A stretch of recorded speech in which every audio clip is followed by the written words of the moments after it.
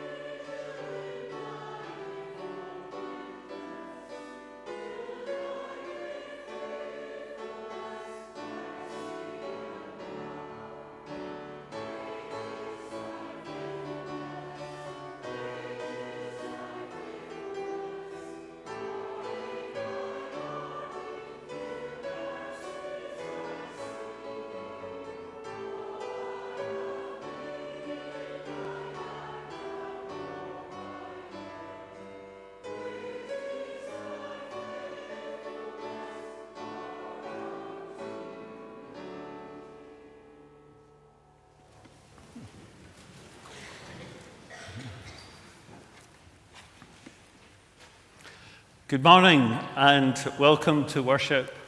And can I say it's, it's uh, really good, and no offense, Alan, please, uh, uh, but it's really good to have two, two gentlemen in the choir. And John, it's great to see you uh, well enough to be here with us. And, and welcome to all those who are, uh, are with us this morning. For everyone is welcome here because everyone already belongs. So let us, each one of us, of every background and experience, every shape and colour, accent and hairstyle, eye pigment and jawline, everyone that God has imagined. Let us be here in this belonging place and celebrate each other as we worship God together. Let's sing in the first hymn together for uh, harvest or harvest service, which I'm sure you'll agree is looking very colourful and uh, very, very tasteful indeed. And we thank Stella and the, uh, the, the, the flower, flower, team for, uh, the, for bringing this together, particularly Stella, who was uh, uh, here yesterday. Let's sing in We Plough the Fields and Scatter.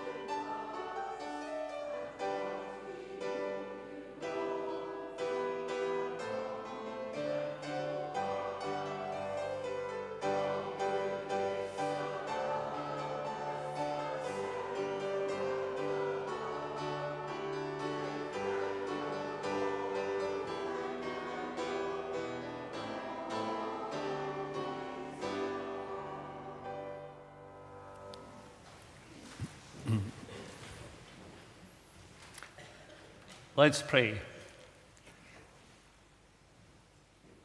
Loving God, may we pause within this world and in silence and in word find the silences and words that you wish us to hear today. The silences and words that you hear in the corridors of heaven. May we be your people here and shape an open community beyond the rules of the world. May we recognize the gift of your kingdom where all belong. May we find our voice, loving God, and let it speak with truth and compassion, trusting that you hear each one of us. You recognize the cry we make that holds our heart, that expresses our need. May we make here a place of trust where your love and justice shapes all we are and all we can become. And that strength is enough for each one of us. Loving God, may we be together in this holy earthly community. Can we be the channel for your Spirit that she might pour into our community and our world hope for the future and love for today? And now, together in one voice, can we share our worldwide prayer given by Jesus? Our Father, who art in heaven, hallowed be your name. Your kingdom come, your will be done on earth as it is in heaven. Give us this day our daily bread, and forgive us our debts as we forgive our debtors. And lead us not into temptation, but deliver us from evil. For yours is the kingdom, the power, and the glory forever. Amen. Listen now for a word from God from the New Testament. And just to confuse you, uh, the, before I turn over uh, to Marion, uh, I'll say that what is printed on your, uh, the, the, uh, your sheet there as being the reading is really just to give you a, a, a piece of reflection when you go home and see how you can tie in that reading with what we're saying today. Uh, so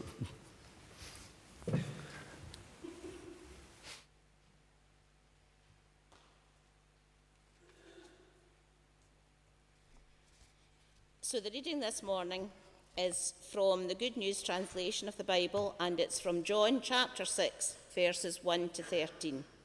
Jesus feeds 5,000. After this, Jesus went across Lake Galilee, or Lake Tiberias as it is also called.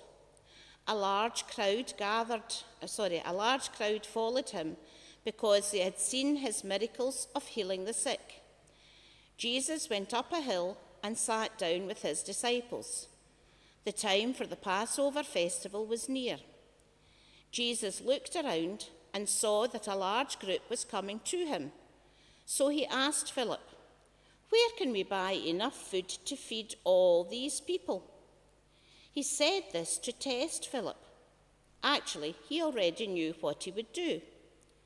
Philip answered, For everyone to have even a little, it would take more than 200 silver coins to buy enough bread. Another one of his disciples, Andrew, who was Simon Peter's brother, said, There is a boy here who has five loaves of barley bread and two fish, but they will certainly not be enough for all these people. Make the people sit down, Jesus told them. There was a lot of grass there. So all the people sat down there were about 5,000 men. Jesus took the bread, gave thanks to God, and distributed, distributed it to the people who were sitting there. He did the same with the fish. And when all had as much as they wanted, when they were all full, he said to his disciples, Gather the pieces left over, let us not waste a bit. So they gathered them all and filled twelve baskets with the pieces left over from the five barley loaves which the people had eaten. Amen. And may God add his blessing to this reading of his holy word. Thanks very much. and let's sing now in When I Needed a Neighbour, Were You There?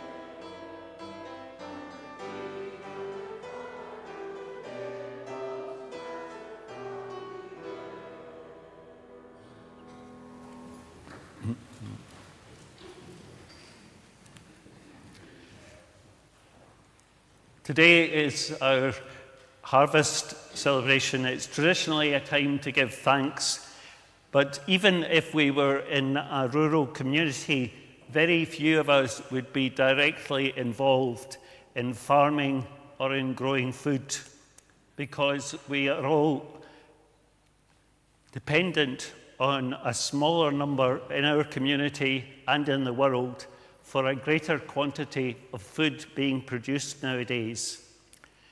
But this doesn't mean that we've got nothing to be thankful for to offer back to God. This year is the third decade of the 21st century, and we want to celebrate the harvest of our first 21st century lives. We want to give thanks for the hard work of our church and community and the harvest of our own lives, and then dedicate the harvest gifts of our world community to be shared not just with the local community, but with the whole family of God's one world. And we'll hear more of that later. In the reading, the crowd was hungry, the place was isolated, it was late in the day. The crowd was large, and from the human point of view, the need seemed to be beyond anyone's capacity. But Jesus turned towards his disciples and he passes over to them the responsibility for feeding the crowd. He looked round and he saw that a large crowd was coming to him, and he asked Philip, Where can we buy enough food to feed all these people? So, how do the disciples handle it? In Matthew's version of the story, the disciples suggest the problem of food should be left to the people. Let them feed themselves. Send the people away. Let them go to the villages to buy food for themselves. So, first they say it's their problem. Let them solve it. The next approach is we haven't got the resources needed. For everyone to have even a little, it would take more than 200 silver coins, Philip says, to buy enough bread. And because they can't do everything to help, they would rather do nothing to help. That's so often the story of helping other people. And then Andrew stumbles on half a possibility there's a boy here who has five loaves of barley bread and two fish, but they will certainly not be enough for all these people. They write off Jesus' ability to solve the problem. They limit Jesus in all their calculations. The disciples may have shared in Jesus' compassion that he had for the crowd and its hunger, but they didn't identify with his goodness and generosity, and they didn't trust him to provide a solution. The crowd is still hungry. The place is still isolated. The crowd is large. And from the human point of view, the need is beyond the capacity of Jesus and his disciples. That could be the story anywhere today in the 21st century. This could be in any continent today, or more correctly, on every continent today, in every community, in all the communities within Scotland and the United Kingdom. 5,000 is a small number in third world countries where as many as 50% of the population can live below the poverty line. And especially at harvest, God challenges us to see how we are going to help with that situation. And many, like the first followers, will say it's their problem, let them solve it. And they determine to do nothing. But is it the problem of the people of Libya, of the people of Morocco, of the people of so many other countries who have been overtaken by the natural disasters that have happened. Others feel embarrassed that their offering would only be a drop in the ocean in relation to the needs of any particular situation. And if they can't do everything, they'll do nothing. Jesus didn't think that way. He didn't say you had to do everything in order to do anything to help. He said, no matter how small your offering is, that is given. It's how it's given, the attitude it's given in. That's what matters. A plate of soup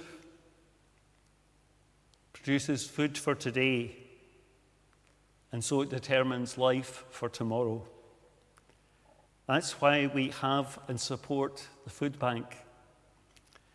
All indications are that they're going to continue to be very necessary, not only in the immediate future, despite all our hopes and vision that they'll become unnecessary at some point, hopefully within our lifetime.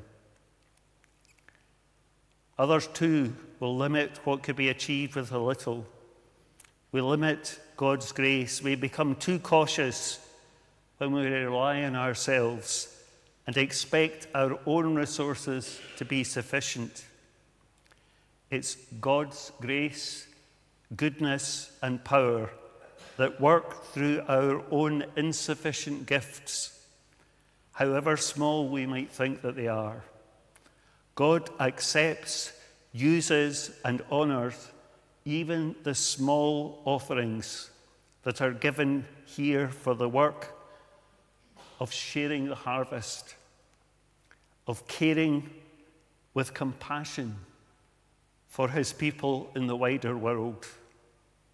To God, it is not the quantity which is important, it's the attitude.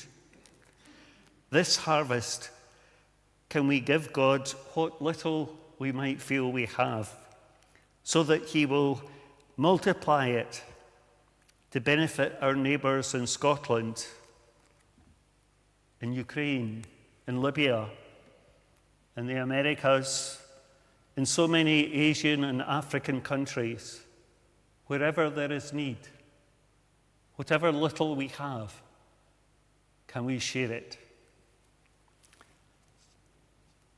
Let's sing in God whose farm is all creation.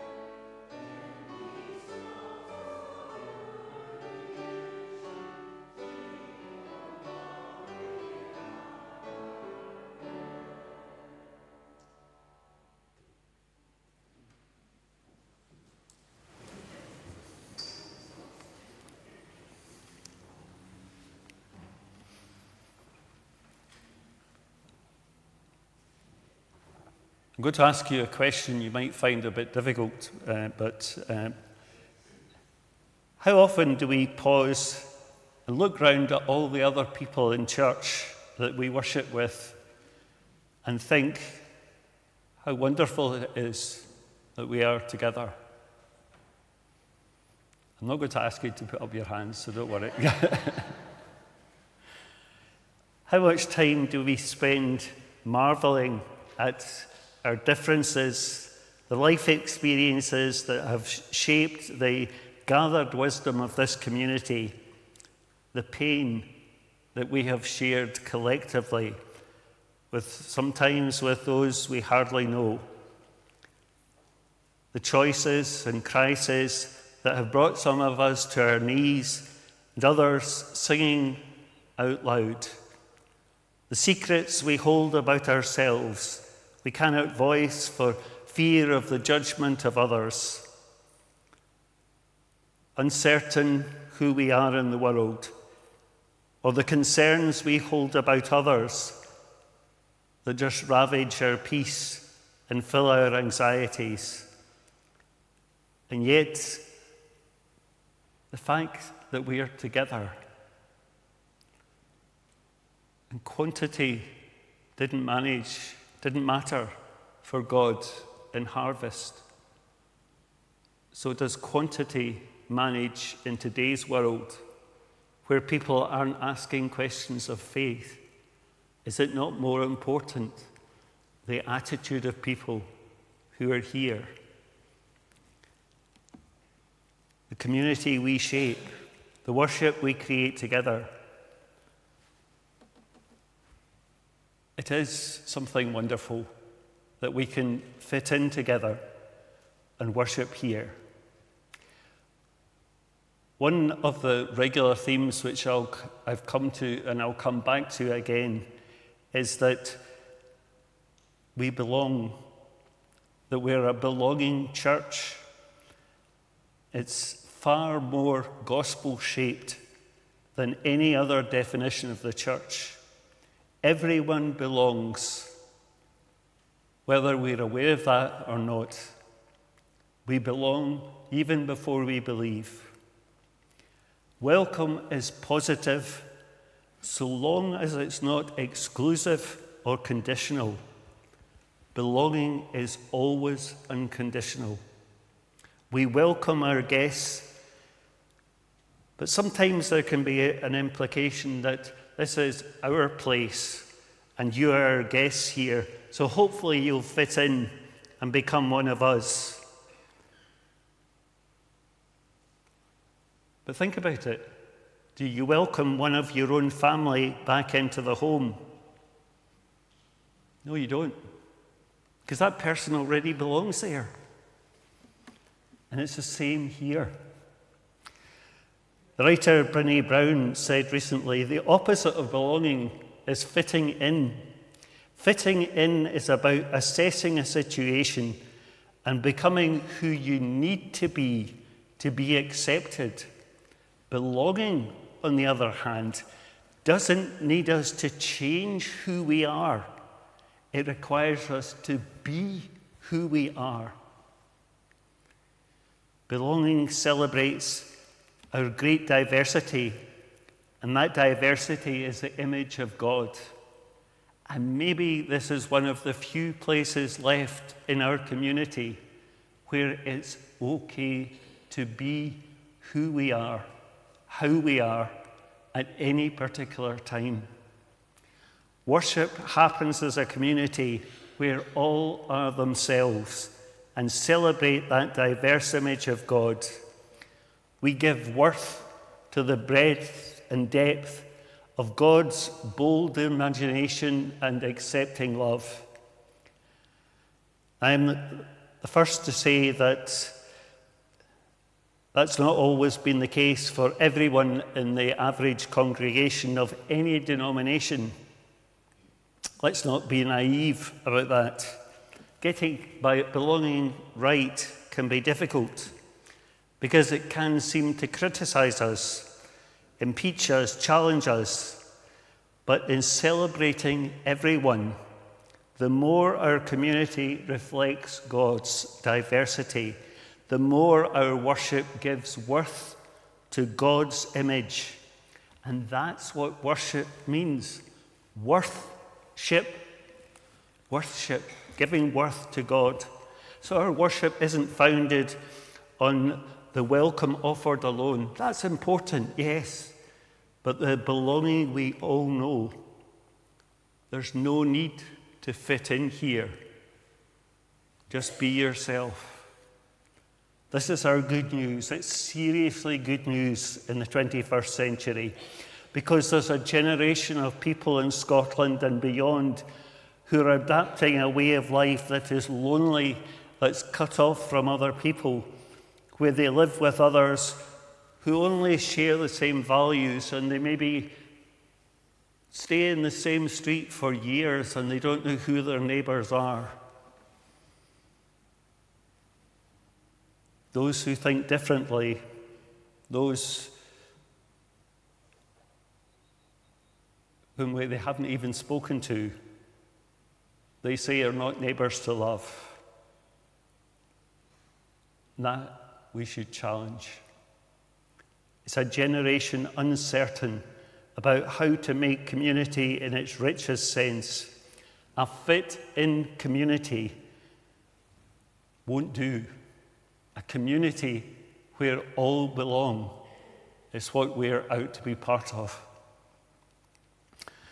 I listened to a podcast on the BBC from Adam Smith. Uh, I don't think he recorded it personally, but it was about Adam Smith.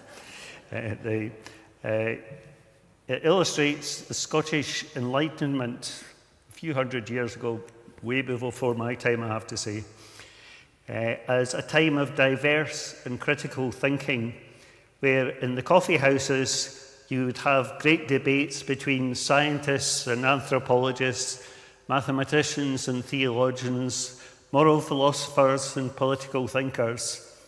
And that used to be part of the Scottish education, which you got even in the, the tiny schools that existed in every parish around Scotland in those days. Think of Robert Burns. It's about the same time. That bread grew a de- democracy of morality and ethics and a sense of belonging together. And that was our church too, the General Assembly, a great national melting pot of ideas, rather than what, frankly, and possibly I shouldn't say this online, can be the dullest grey of the church today, where many have no real sense that they belong anywhere or to anyone. It concerns me that the church's mission is shaped by the assembly primarily around the idea of welcome, which can be conditional on our own terms. Its essential welcome is included in our mission. But more significant is creating communities of belonging which are unconditional, which accept everyone, which are richly diverse.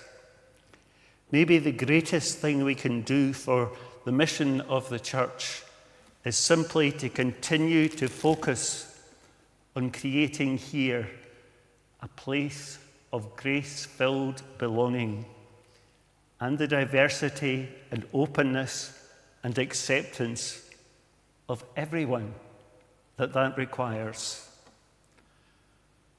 Whenever we have a mission to become a community of belonging, not of fit ins, it's comfortable and nice to fit in, but that's not enough. We can lay the foundation if we're belonging and everyone else feels they belong. For a future congregation that's creative, imaginative, that celebrates God's image.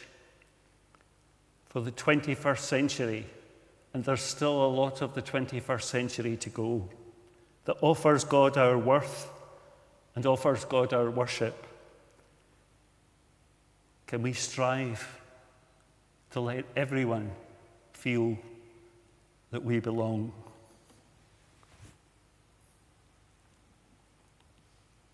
How do we belong together? Such diversity of opinions, Each of us speaks differently of love or spirit or presence or God because we don't all the share the same experience of God. A belonging place where each of us holds different questions with integrity about history and story, about what's literal, about what's grown in the telling, where each of us flows between truth and myth in the telling of our stories, of water walking, storm stilling, or crowd feeding. Truth or myth, which one holds more meaning about our human condition? How might we listen to others and be listened to by others in a place where all belong? Belonging is a generous place, a disturbing place, a respectful place, an honest place, a place that doesn't leave anyone out. In there, where we let ourselves be unwound, unwound a little in the presence of others who support us by holding our fraying threads and sharing our pains, in there where we all belong, because we are loved just for who we are. May that be so. Let's sing now and for the fruits of all creation.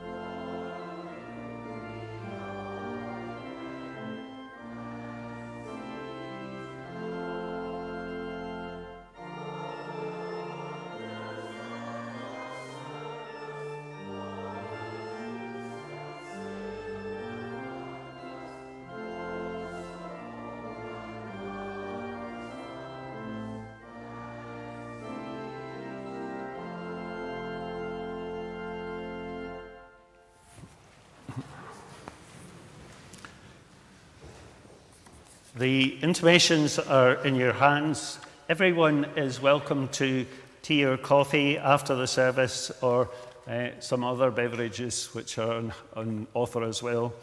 Uh, so um, the coffee shop is on Tuesday morning in the North Hall at 10 o'clock and the bowling club at 2 on Monday. Uh, the warm spaces, uh, the think, which is going to be called the Thursday Cup, somebody told me. Um, if I'm wrong there, then you can correct me.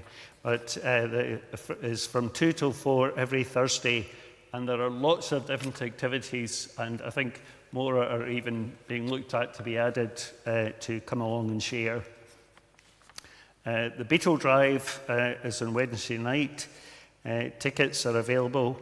Um, and uh, next Sunday, there will be uh, soup, tea, and coffee after the, uh, the, the service. Everyone's welcome to, uh, to share. There are still some Herald magazines, I think, to, to be uplifted from the, uh, the fellowship area. Thanks to all who have contributed so generously to the food bank and uh, can say that it will be put to good use and the following items are given there. Uh, and then next Saturday, uh, we are hosting the Ayr churches together uh, at 11 o'clock with prayers of, for the peace of Ukraine and Russia. And uh, you'll get um, uh, apologies to Denise and John, but uh, since we're not in, in uh, Edinburgh, uh, you, you'll not have had your tea, so you, can get you, you can get your your your tea or, or coffee uh, when you come, uh, and then uh, advance notice of the BB dedication service is there, uh, and then, as I mentioned earlier. Um, the, there'll be just a word about our sharing of our harvest uh, with those in need. Alan, would you like to?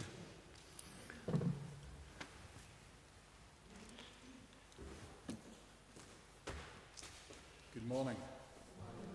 Uh, it's me again. Um, you've all seen this on the news, uh, and you've all said, oh my goodness, how can these people survive?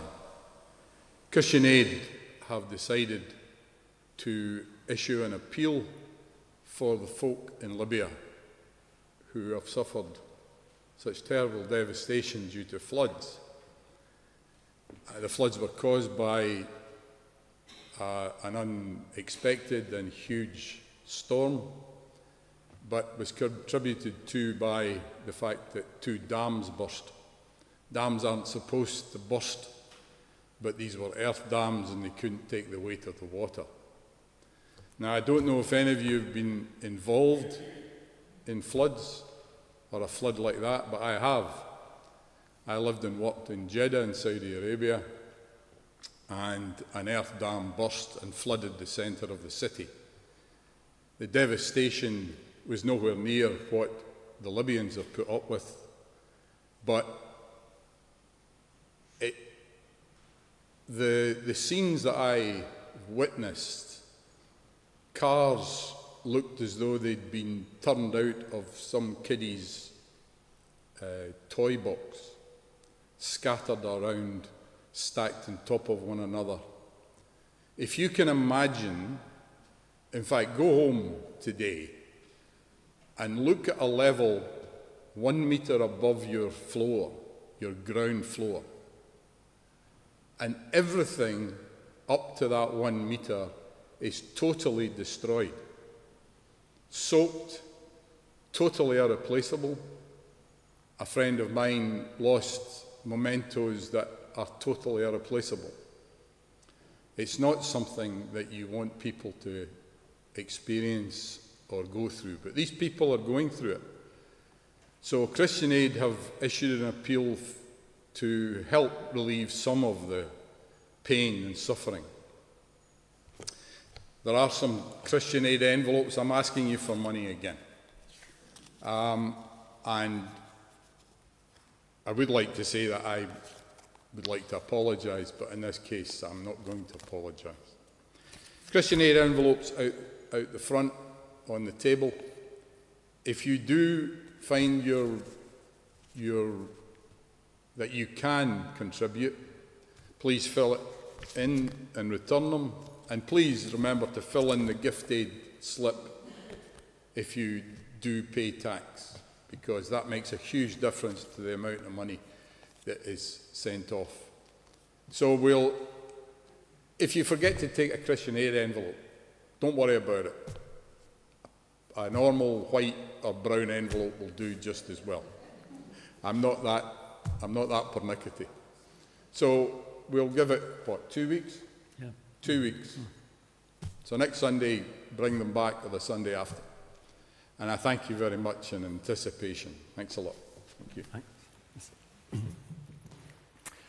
And as I said, said a few times, it's not how much we're able to give, it's the fact that we, we want to give that counts. And however little it might seem uh, compared to the, the huge expenditure that's going to be involved for the, the Libyan people, that will still help somewhat in, in being able to be uh, an encouragement to others as well. So if you can, uh, please do uh, give something. Uh, having sp spoken about belonging, can we let everybody round about know they belong uh, here and wish them uh, the welcome to worship and also give them the hand of friendship?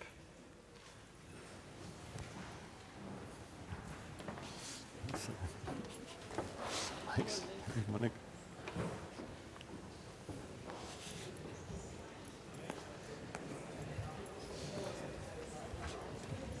Morning. Morning.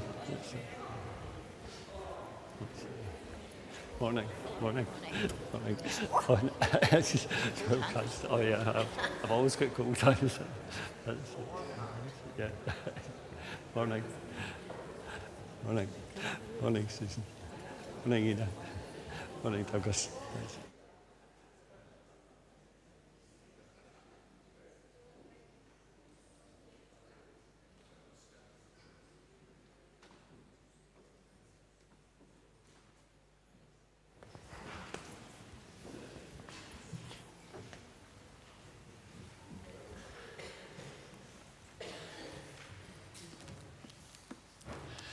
Let's bring our prayers for other people. Let's pray. At this time of harvest, as we give thanks for all we have been given and for your gracious provision for all our needs, we take time to remember those who don't have enough, those who live in areas of the world where natural disaster or human greed has robbed the earth of its richness and has denied people their chance to share in your gift of life. We pray for all who work to restore the land and renew the harvest.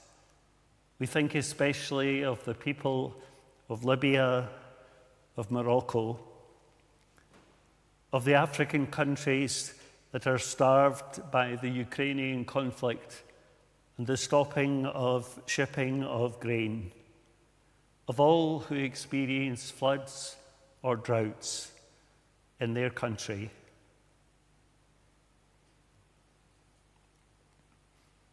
We pray for those who have been excluded by injustice and oppression from sharing in any harvest, for those who have no land to farm, for those who have no opportunity to learn for those who have inadequate health care. May your gifts be shared among all of your people and not stored up by the few to the exclusion of many. We pray for those who are the farmers and the creators of the harvest,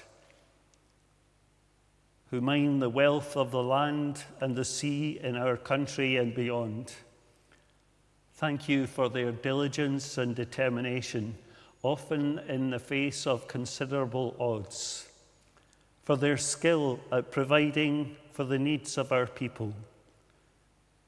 Share in their frustration and difficulties as they wait for remaining good weather to complete their last harvest, as they struggle against all of the difficulties of inflation and worldwide economic problems. We pray also for those whose skills and talents haven't been nurtured but have been ignored and neglected.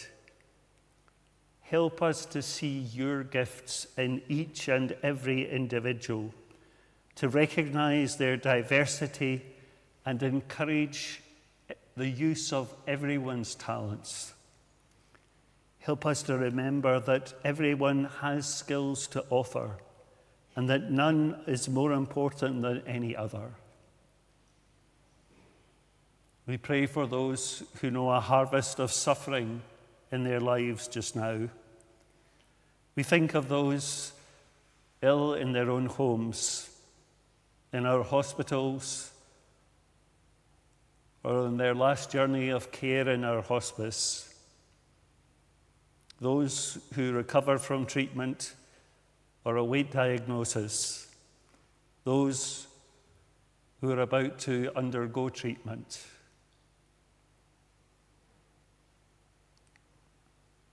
Our hearts go out to all who have been bereaved recently and to those who carry the pain of long experienced grief. Let each know that your comfort and consolation, support and strength are longer lasting than any of the pain that we experience in loss. We pray for those who are anxious because of the cost of living cries and the limitation that imposes on people's everyday existence. And in the silence of our hearts, we pray for our families and friends and ask you to show us how we can share in your care for them.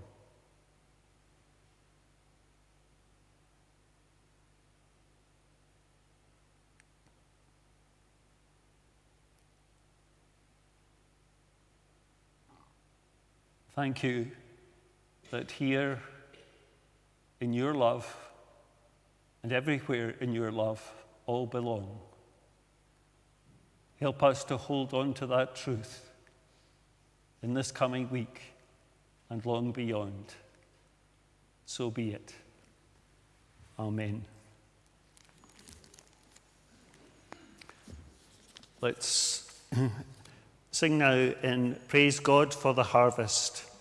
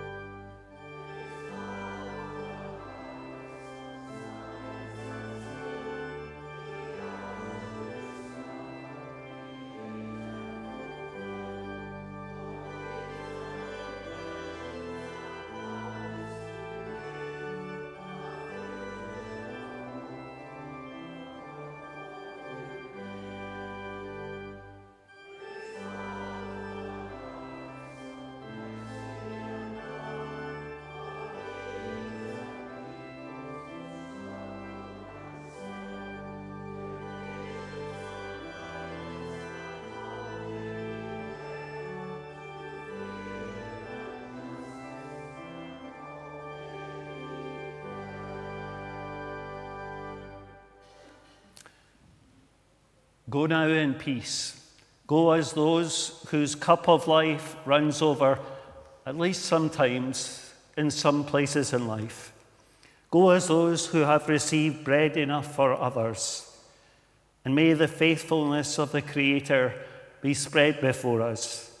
Jesus, host our every meal. The Holy Spirit, fill us with a joy that goes deeper even in the pains of life. And the blessing of God, our Creator, our companion, our Comforter, give us a sense of belonging this day and through all of next week.